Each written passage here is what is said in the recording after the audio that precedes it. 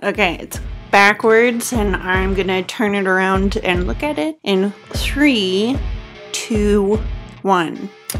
Oh. It's snowing out here. It's it's quite cozy if you can imagine it. Can you hear it? Fourscore and several years ago, Robin made a portrait of me. It was a hoodie Mona Lisa, a mashup, um, and I looked quite handsome.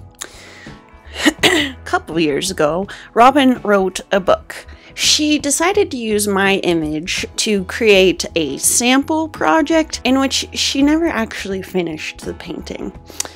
So here we are these years later, and Robin is going to attempt. Shh, no. So here we are these years later.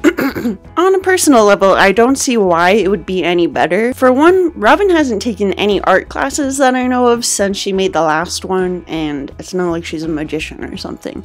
For two, the other one was bigger, and I think my face looks good when it's big. So today, let us both venture into the creation of Hoodie with a Pearl Earring.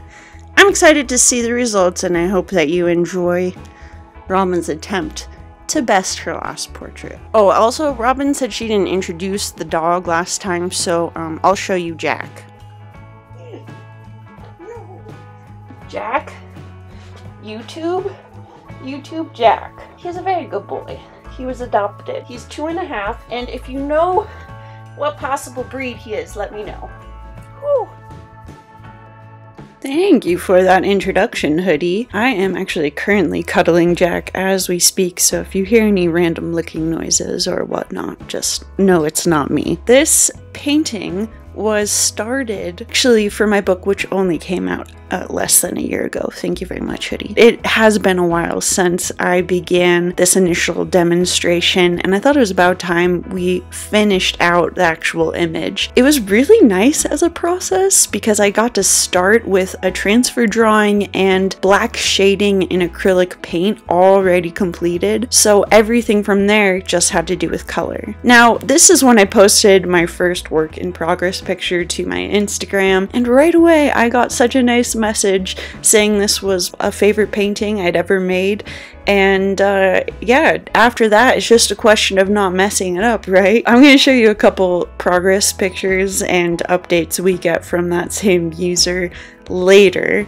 And it started a question in my head that I honestly would love to get your feedback on. So be sure that as we talk about it, you leave me some feedback in the comments. I think it's probably something a lot of us artists think about, but for now, I am working with oil paints on hoodie with a pearl earring. This is, of course, inspired by a much older painting not done by me called Girl with a Pearl Earring. In this, I created a mock up image in which we posed hoodie, combine it with the original classic painting, and then it's just a matter of filling things away. I did go through a lot of different stages with this where I was developing it more, and as I did that, it took it away from the initial uh, impressionist, stylistic, soft, and more painterly quality that was in that first progress picture and started making it more detailed and refined. I am dropping in with an important update on this paintbrush.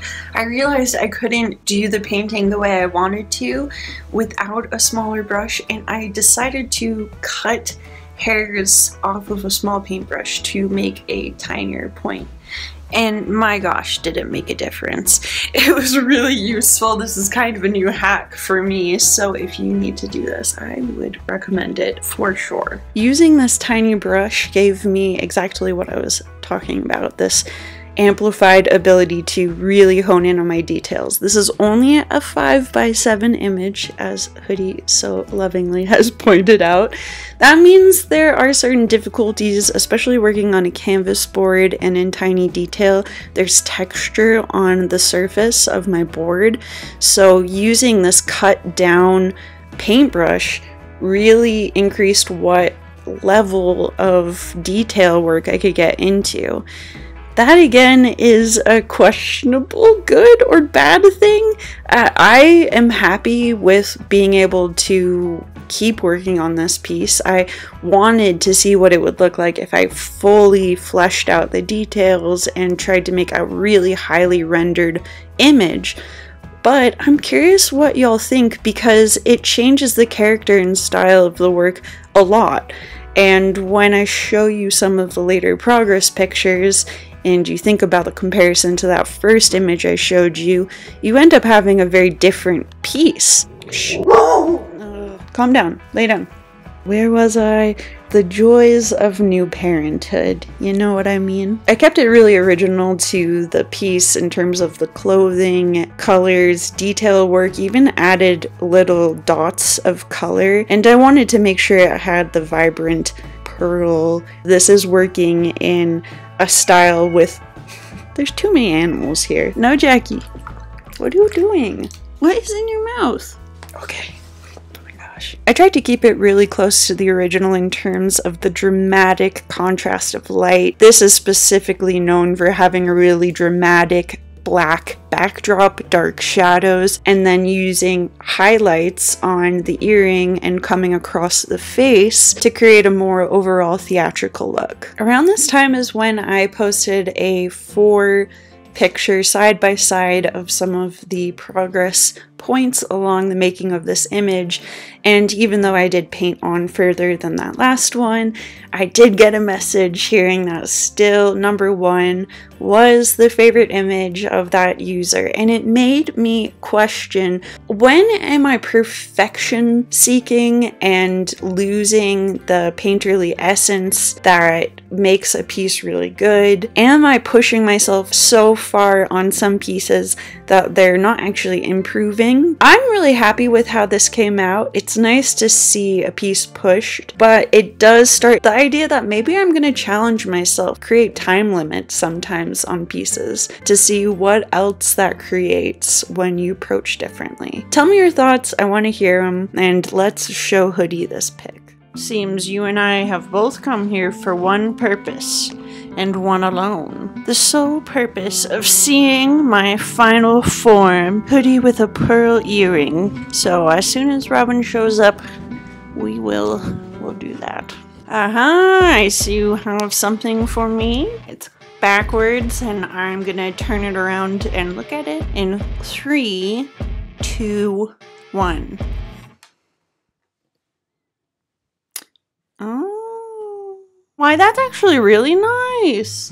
Do I look that good? That's pretty Hecka. You know, maybe you have gotten a little bit better without the art lessons. Though, again, I'm gonna have to say it pretty tiny compared to the last one. See, you did some interesting color things. You're making some choices. I approve. I love it. What do you guys think? Tell us in the comments. You know, I would love to keep this, but I am pretty sure some of you would be interested in it. So, um, if you want to purchase this, you can check it out on Robin's website. That is robinsealark.com. And I think she's going to have prints available this time. Oh, an actual print release. It's cheaper and stuff, so that's pretty cool. I'm glad to see y'all on YouTube. Uh, if, if you're new to me, you know, subscribe. Uh, check out Robin's socials at Robin Sealark. And we'll see you later, dude. Bye. Did you wanna... Oh, sorry.